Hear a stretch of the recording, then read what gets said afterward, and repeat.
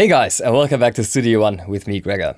Did you know how easy it is to assign a secondary editing tool in Studio One that you can toggle whenever you hold down Command on a Mac or Control on Windows? This can be very useful in many workflow situations and it's guaranteed to make your life a bit easier in case you're not using this yet. Let's check it out.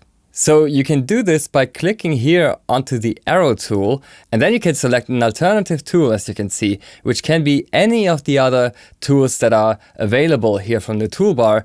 And you can always switch this on the fly so that you always have a shortcut that makes sense for the current task at hand. For example, I like to have the split tool as my alternative tool.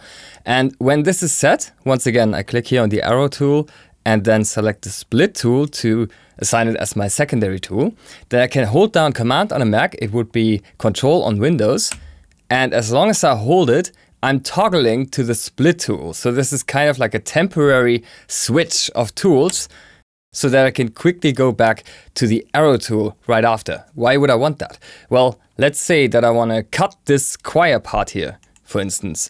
Then I can hold down command, set a cut point here, one here, let go, and directly select these two, for instance, to delete them, just like so. There's many applications that you can think of. It's just very handy to have a secondary tool directly available without having to switch your main tool for that. And it can also be incredibly useful to have the bend tool, for instance, as your secondary tool when you do a lot of audio editing and quantizing that can be particularly handy. So for example, here I just switch and um, this allows me to start editing this waveform on the fly. As soon as I'm done, I just let go and I'm back with the classic arrow tool. Same works with the listen tool, of course. I can once again click here on the arrow tool, select the listen tool as my secondary, and then jump through different sections.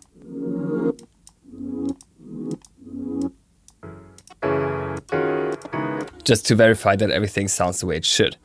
You can also assign mute or delete, for example, with the eraser tool here. So as you can see, the secondary tool allows you to quickly toggle back and forth between your most used editing tools, which can be a great time saver in many editing situations. And hopefully this is going to make your workflow life a little bit better. Thank you for watching.